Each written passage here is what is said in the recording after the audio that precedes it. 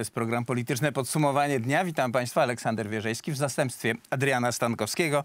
E, Dzisiaj gośćmi są e, Marta Kubiak, Prawo i Sprawiedliwość. Dzień dobry Pani, Jarosław Rzepa, Witam Koalicja Polska. Polskie. Stronnictwo Ludowe i Paweł Krutul, Nowa Lewica. Dzień dobry panie redaktorze, witam państwa serdecznie. Może zaczniemy od y, akcji y, w obronie wolności słowa, którą tutaj podejmuje między innymi nasza redakcja. Mamy zwiastun, zapraszam.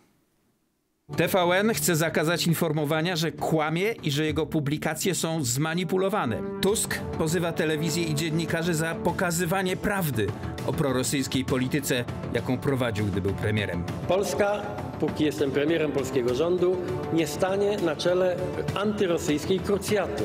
Prawdy się nie uciszy.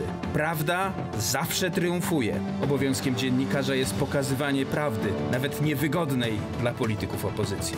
Na spotkaniu na Molo, o czym już wielokrotnie publicznie mówiłem, spotkaniu, które trwało kilka minut, rozmawialiśmy o sprawach takich czysto kurtuazyjnych. Putin nie proponował żadnego rozbioru Ukrainy, tylko y, wysuwał takie aluzje, insynuacje, że Ukraina y, składa się z różnych wątków historycznych. Lwów był polskim miastem, Nie zgadzamy się na kneblowanie ust wolnym mediom i dziennikarzom.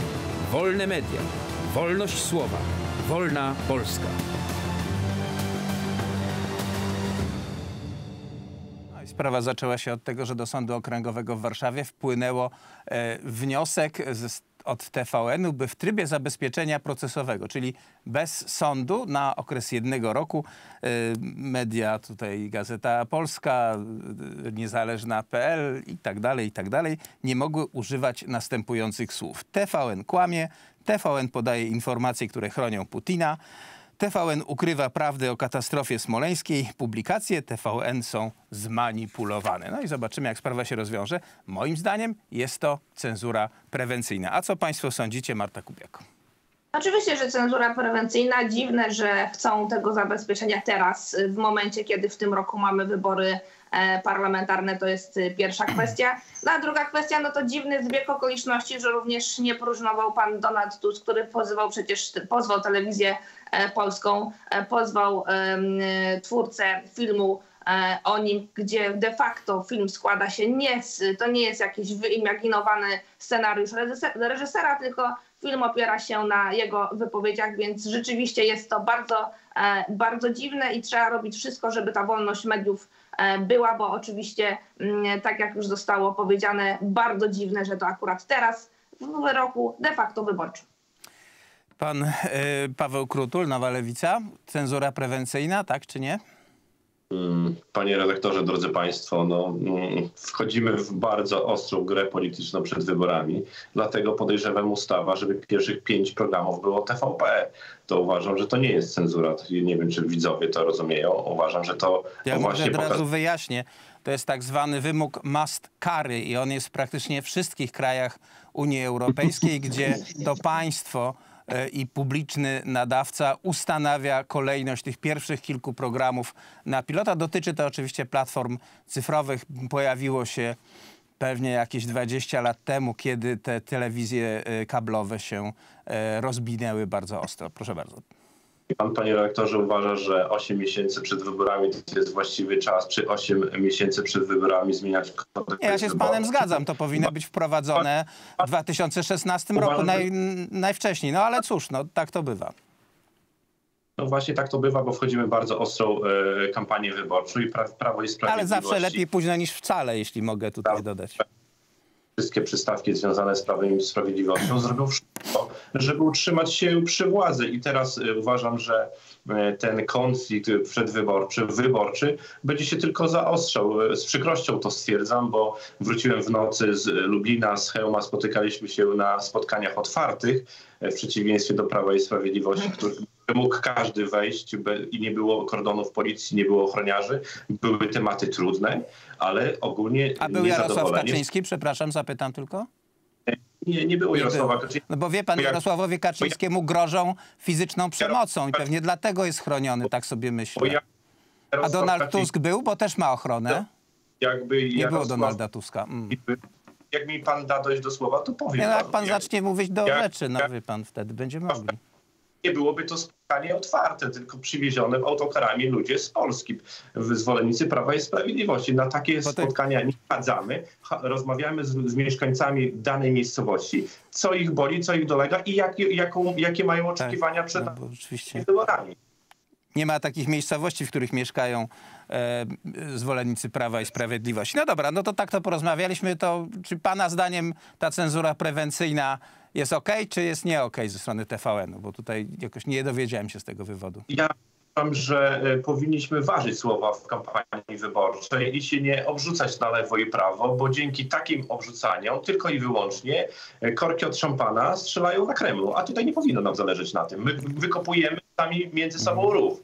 Putin tylko zaciera ręce. To jest niewolny kierunek, gdzie powinniśmy stawiać na bezpieczeństwo i na spajanie ludności. Czyli Ale zabranianie niestety... krytyki TVN-u jest nie, cenzurą nie, prewencyjną przez sąd, czy nie jest cenzurą prewencyjną? Tak czy nie? Panie pośle, proste pytanie. Uważam, uważam, że powinniśmy ważyć słowa i jeżeli mamy na cokolwiek dowód, że tak faktycznie z jednej czy tej strony było, nie wstydźmy się o tym mówić. Także nie ma z tym, nie, ma z tym najmniejszego problemu. Ale ja mam, bo nie zrozumiałem, ale może nasi widzowie zrozumieli. Jarosław Rzepa, Koalicja Polska, Polskie Stronnictwo Ludowe. To samo proste pytanie. Panie redaktorze, odpowiadając wprost na to pytanie, trzeba powiedzieć, że moim zdaniem o krok za daleko. Natomiast patrząc na, na rzeczywistość medialną w Polsce, no to ta rzeczywistość wygląda o 19 faktach w ten sposób, o 19.30 wiadomościach całkowicie inaczej. A życie y, Polaków wygląda jeszcze inaczej. I szkoda, że media, które naprawdę powinny być mediami obiektywnymi, które nie powinny e, od rana do wieczora chwalić tylko partii rządzącej, a ganić tylko i wyłącznie opozycję, media mają bardzo ważną rolę e, i chciałbym, żeby kiedyś stało się tak, co dzieje się na przykład dzisiaj na Litwie, że jedną z podstawowych zasad e, telewizji publicznej czy mediów publicznych jest łączenie narodu, bo to jest niestety dzisiaj ogromny problem. Dzisiaj nie mamy Media y, mamy media prawicowe, media liberalne, tak naprawdę, ale takich całkowicie bezstronnych, które tak naprawdę, jeżeli rząd coś źle robi, to krytykuje, pyta, szuka, docieka, a jeżeli, a jeżeli robi dobrze, to też jest w stanie mm, powiedzieć coś dobrego. W Polsce niestety nie ma. Każdego dnia jesteśmy manipulowani z jednej czy z drugiej strony.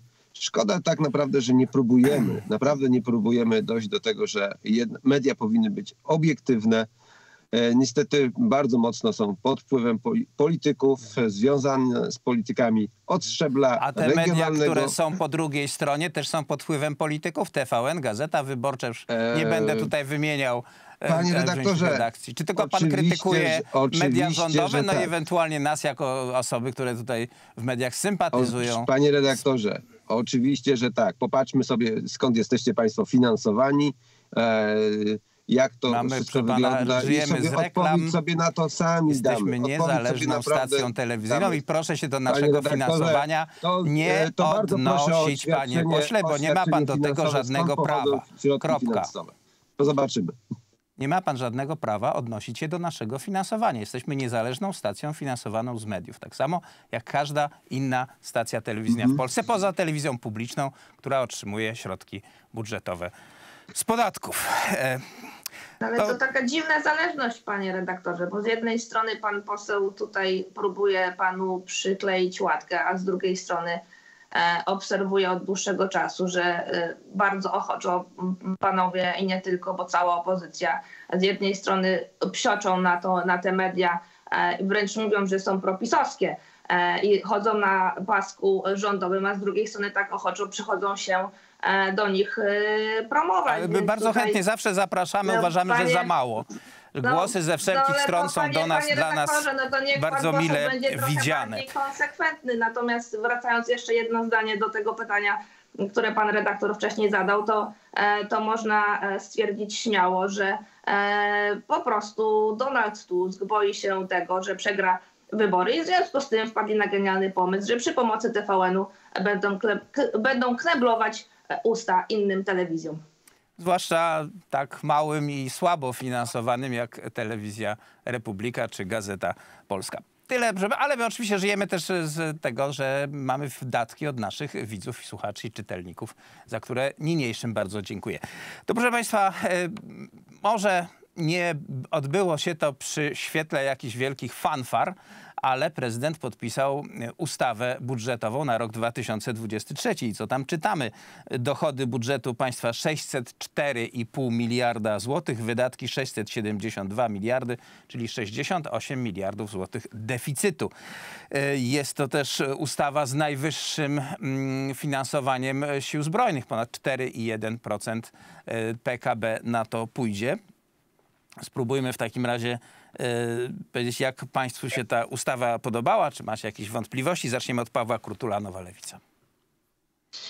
Panie dyrektorze, wszystko świetnie, tylko dlaczego nasze poprawki nie zostały w ogóle uwzględnione, nie, w ogóle nie były czytane na sali sejmowej, tylko zrobiliśmy to jednym głosowaniem. To jest przykre i, i to jest to, to nie były poprawki dla mnie, dla posła Pawła Krutula, tylko wnosilibyśmy, każdy z nas wnosił poprawki z naszego województwa, dla ludzi tutaj mieszkających. I to były bardzo ważne, istotne poprawki. A co Państwo między innymi proponowaliście? Jakie to ciekawe propozycje nie zostały uwzględnione? Drugiej strony y, mówi, mówił pan o bezpieczeństwie. Oczywiście pełna zgoda, bo głosowaliśmy za, za tą ustawą o obronie ojczyzny solidarnie, pomimo też tutaj nasze poprawki zostały odrzucone i to bardzo istotne poprawki, choćby tutaj kolegi z PSL-u, który, która była wznosiła, zabezpieczała polski przemysł zbrojeniowy, która też została odrzucona. My rozumiemy, że jest konflikt za, za Ukrainą i jesteśmy krajem przyfrontowym. Niemniej jednak chcielibyśmy mieć w górąt, jeżeli chodzi przynajmniej o Komisję Obrony Narodowej, jak są te środki wydatkowane. Bo jeżeli uda nam się, bo robimy wszystko, żeby w demokratycznych wyborach w październiku przejąć władzę, żebyśmy się nie zdziwili, jak zobaczymy te umowy podpisywane przez Ministerstwo Obrony Narodowej, przez pana ministra Błaszczaka, e, które e, choć, choćby pierwsza z brzegu zakłada zakup 90 najdroższych śmigłowców e, Apache na świecie, a widzimy za naszą wschodnią granicę, to nie jest historia, że śmigłowce nie przynoszą takich skutków, jakie przynosić powinny. A w te, przypadkiem nie był jedną z osób, tylko przypomnę, która krytykowała rząd za to, że odmówił kupienia karakali kilka lat temu? Panie redaktorze, ale tutaj się, ja rozmawiałem z pilotami, którzy to opiniowali. Oni chcieli ten śmigłowiec. Czy pan się uważa za pilota? Mimo, że e, teraz pan mówi, że śmigłowcy no, nie, spełniają, nie, nie sprawiają e, roli na polu bitwy. Panie, panie redaktorze, to nie, są, to nie są śmigłowce uderzeniowe, karakale, tylko to są duże e, transportery, także one o innym udźwigu są, także one w pierwszej linii na pewno nie idą tak jak Apache. To żeby była jasność. A mówiliście A państwo o tutaj są... dużej szkodzie dla polskiej obrony wtedy, tak to przynajmniej pamiętam, no ale panie redaktorze, wiemy jedno, podatnicy, pomimo pozytywnej opinii pilotów wojskowych, te śmigłowce, umowa została zerwana, i, a polscy podatnicy zapłacili 70 milionów kary. To żeby była jasność, żeby to słuchacze widzieli. I chcielibyśmy właśnie tego uniknąć, że jak zobaczymy tę umowę, żeby żadna z tych umów nie była podważona, Czyli... tylko dalej kontynuowana. Apache, nie Karakale, tak? To słuchamy dalej uwag do budżetu informację, którą czerpiemy, to z Twittera pana ministra czy z modu. To jest mało mało odpowiedzialne. Pan e, Jarosław Rzepa, Koalicja Polska, wywołany niejako do głosu w sprawie e, opinii na temat budżetu. Oczywiście, panie redaktorze, ten budżet moim zdaniem jest bardzo e, nierealny, bo z jednej strony mamy deficyt, ale to jest taki deficyt, nazwijmy ogólny, a ogromny, duży deficyt jest w tych funduszach pozabudżetowych. I tego ja naprawdę się obawiam, bo wiele środków finansowych pochodzących na y, armię jest właśnie pozabudżetowo. Nie powinno tak być. Jeżeli mamy budżet państwa, tak porównując go troszeczkę do budżetu domowego, powinniśmy omijać jawności tego wszystkiego po to, żeby gdzieś ukrywać e, pewne koszty, a tam są ogromne koszty, bo gdybyśmy dodali te środki, które są pozabudżetowe, to byśmy mieli problem e, z zasadą, e, zasadą równoważenia budżetu i oczywiście rządzącym, rządzący doskonale o tym wiedzą. Co do dochodów, to są optymistyczne założenia przy określonym wzroście gospodarczym, natomiast ja obserwuję wyhamowanie gospodarki i to dość mocne w wielu obszarach. To widać po zakupach firm, po inwestycjach firm. Firmy chcą przeczekać, firmy się zastanawiają, e, a poza tym jeszcze wielu środków nie ma, no, choćby przysłowiowe KPO. to, to, co pan poseł powiedział odnośnie tej poprawki dotyczącej przemysłu zbrojeniowego.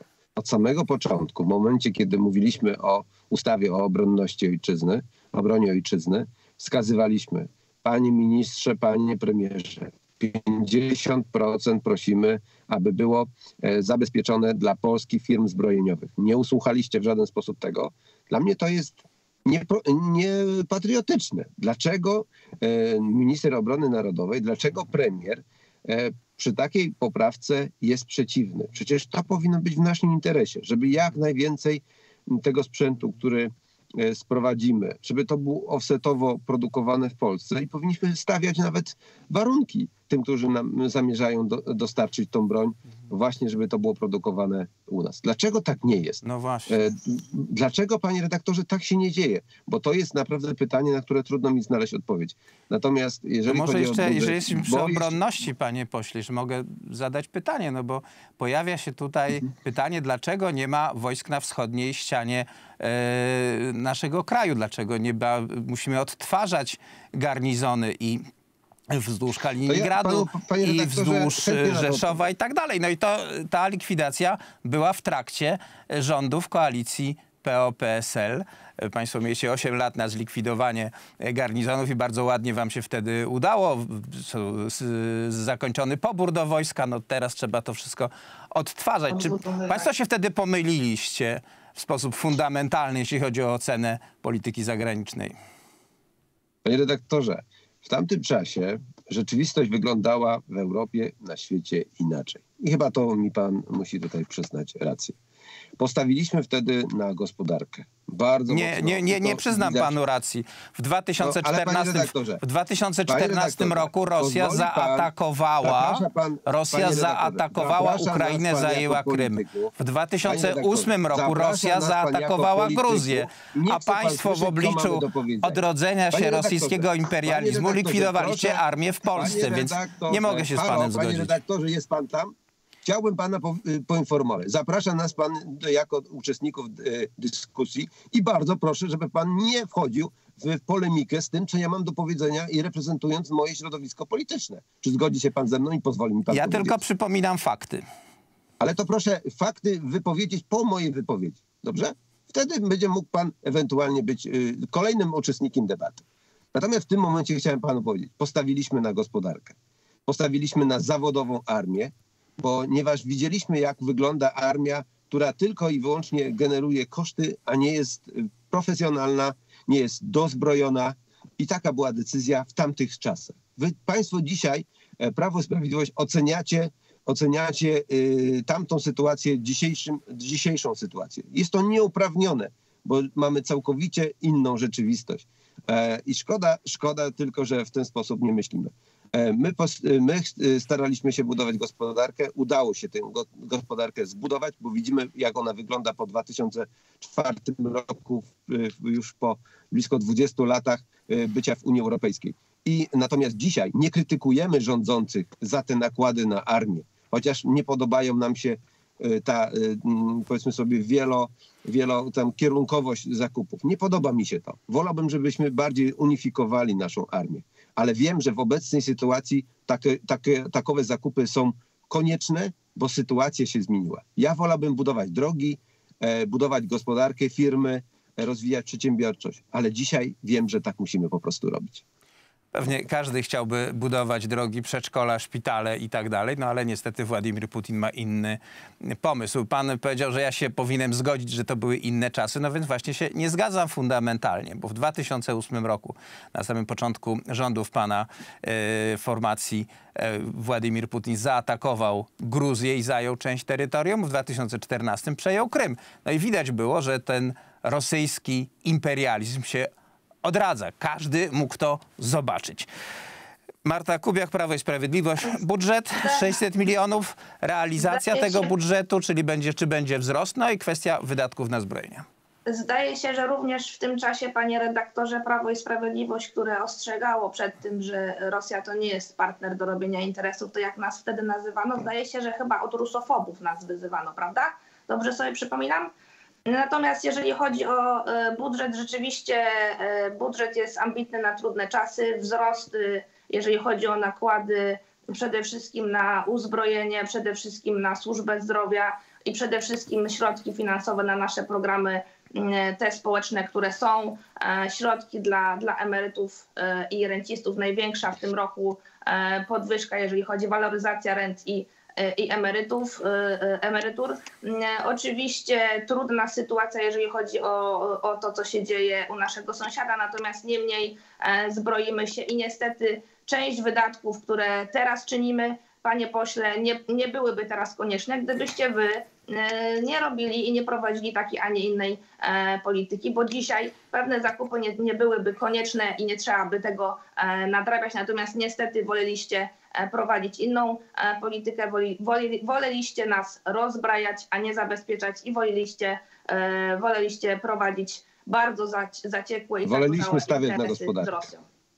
No tak, żeście stawiali właśnie na, na gospodarkę, gospodarkę. że panie, panie pośle, e, tak żeście stawiali na gospodarkę, że podwyży, Że dzisiaj rolnicy strajkują że na ulicach. Przed chwilą się pan domagał, żeby pan redaktor e, panu nie przeszkadzał, więc odnoszę się również Mhm. do tego e, z tym do pana, to jest pierwsza kwestia. Tak żeście e, po, pomagali Polakom, że ustami pana e, przewodniczącego Kośniaka Kamysza podnieś, podnieśliście wiek emerytalny, bezczelnie lekceważąc to, że 91% obywateli było temu przeciw. No już nie wspominając o podwyższeniu e, VAT-u i tak dalej, i zlikwidowaniu ulgi między innymi na internet i różne inne tematy, więc tutaj naprawdę, panie pośle, moglibyśmy się tutaj tak przerzucać. Mamy teraz sytuację taką, a nie inną, więc oczekuję tego, abyśmy, tak jak powiedział pan poseł Krutul, e, w kwestiach ważnych dla społeczeństwa mówili jednym głosem. Pani, pani poseł, jeszcze jedno słowo, żebyśmy też w innych kwestiach mówili jednym głosem, bo za, za rządów Prawa i Sprawiedliwości już nie jesteśmy 38-milionowym krajem, tylko 37-milionowym krajem. E, 500 plus się nie udało. Był to oczywiście dobry A program. jak pan to Nie- nie- policzył, panie pośle? Ja, Panie redaktorze, ja się do tego Proszę. bardzo chętnie odniosę. proszę, dane są. z- Od w zeszłym roku i rok jeszcze wcześniej, od II wojny rodzi się coraz mniej po- e, dzieci w naszym kraju. Także tutaj powinniście Państwo się skupić na tym, a nie zamykać programy, choćby jak in vitro, podczas którego trzech lat obowiązywania urodziło się 22 tysiące polskich dzieci. Komu to przeszkadzało? Kto ma w tym interes, żeby się nie rodziły polskie dzieci? Ja nie rozumiem tego do końca. To wytłumaczyć. Dlaczego pykacie takie programy, które przynoszą urodzenie polskich, polskich dzieci? Co daliście w zamian?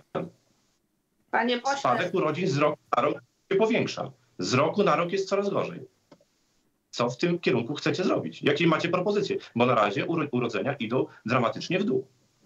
Zdaje się, że chyba mieliśmy pandemię COVID, to jest pierwsza kwestia. Druga kwestia, niestety, niestety liczba kobiet w wieku tak zwanym, które mogą urodzić dzieci, również spada. I to, I to zamyka sprawę, tak? Nie, nie zamyka to sprawy, natomiast y, nie, nie jest pan, nie, nie, nie, nie powie pan, że jest inaczej, że dzięki programowi 500 zlikwidowaliśmy również biedę wśród dzieci i również osoby, które y, nie stać było na różne inne chociażby zadania, zajęcia dodatkowe, e, kursy, wakacje, no to dzięki temu również e, te dzieci mogły jechać na, na takie e, wakacje czy korzystać z dodatkowych zajęć. Oczywiście niebawem e, ogłosimy swój program e, wyborczy, więc e, musi pan I tego e, się poseł niestety troszeczkę obawiam. jeszcze poczekać. Obawiam się tego, ponieważ budżet pewnie nam tego już w ogóle nie wytrzyma, tego co zaproponujecie i powiecie, że was na to stać i że budżet również na to stać. I to jest niebezpieczne. To zanim przejdziemy do szczegółów budżetu, ja bym poprosił pana y, posła Rzepę o e, odniesienie się do tych spraw e, populacyjnych, bo rzeczywiście największym wyzwaniem, jaki stoi przed Polską, ale przed innymi krajami rozwiniętymi jest spadek liczby e, populacji. To nie tylko jest kwestia ludnościowa, ale też finansowa. No, jeżeli e, budujemy mieszkania, domy i tak dalej z, taką wizją, że ich cena będzie rosła, no to kiedy zacznie nam populacja maleć, to nie będzie rosła ta cena i mogą być bardzo poważne problemy finansowe. Tutaj zgodzę się z panią poseł, że niestety wkraczamy w roczniki, gdzie em, młodych kobiet będzie coraz mniej, jeśli chodzi o prokreację. Ten szczyt y, 80. lat niestety dzisiaj już osiągnął już wiek ponad 40 lat, no i tu już będzie bardzo, bardzo, mały przyrost. Y, Musimy się z tym liczyć, że będziemy mieli mega problem. widać, że powinniśmy wyciągnąć, wyciągnąć wnioski z programu 500, który na początku było przecież jasno powiedziane, że ma głównie cel demograficzny, z którego później Prawo i Sprawiedliwość się wycofywało. Trzeba się zastanowić, co się musi wydarzyć, aby młoda polska rodzina, e, że chciała mieć dzieci, że chciała mieć ich więcej. No co by pan E, chciał? i- Co się powinno wydarzyć? Ja myślę, że przede wszystkim my musimy im e, stworzyć pewne bezpieczeństwo. Bezpieczeństwo zarówno wizji dostępności do mieszkania, e, wizji bezpieczeństwa, jeśli chodzi o pracę, bezpieczeństwa, jeśli chodzi o żłobki, przedszkola, system edukacji. To są elementy, które e, bardzo mocno determinują decyzje młodych ludzi.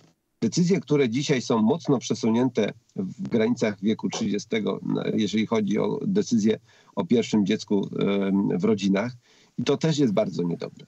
I wydaje mi się, że to w ten sposób, odpowiadając na tą demograficzny kryzys, bo trzeba powiedzieć, że to jest kryzys demograficzny, jesteśmy w stanie cokolwiek, cokolwiek zrobić. I to jest chyba, wydaje mi się, że e, patrząc z tego punktu widzenia, tu jest e, możliwe, możemy szukać odpowiedzi na to, jak tą sytuację zmienić. Druga sprawa, jeżeli chodzi o demografię, albo nie tyle demografię, bo już więcej dzieci się nie urodzi z danych roczników, które już e, się powinny urodzić. I wiemy, i wie, będziemy wiedzieli, ile pójdzie do szkół, ile będzie w przyszłości e, pracowało. Dzisiaj pewną pomocą dla, dla tej naszej demografii jest, są e, uchodźcy e, z Ukrainy. Jeżeli my tutaj zrobimy też dobry, dobrą pracę w tym obszarze, e, zasymilujemy tych ludzi do polskiego społeczeństwa, to też demograficznie, ale też i gospodarczo na tym, na tym zyskamy, chociaż już nie będziemy tak bardzo jednorodnym narodem, jak to było dotychczas. Ale chyba wydaje mi się, że to są wyzwania, które musimy stawić czoła, poważnie na nie, e, o, o nich rozmawiać, e, bo naprawdę starzejemy się, widzimy to, obserwujemy to w wielu, e, w wielu obszarach i tych socjalnych również. I to jest bardzo ciekawy więcej- temat. Będziemy po, za chwileczkę to jeszcze raz y, omawiać, bo rzeczywiście te wyzwania, które stoją, bardzo dziękuję, że pan o tym powiedział, przed nami są no, bardzo, bardzo trudne i trzeba do nich podejść w sposób systemowy. Marta Kubiak, Prawo i Sprawiedliwość, Jarosław Rzepa, Koalicja Polska, Polskie Stronnictwo Ludowe i Paweł Krutul, Nowa Lewica są gośćmi i za chwileczkę, proszę państwa, wracamy.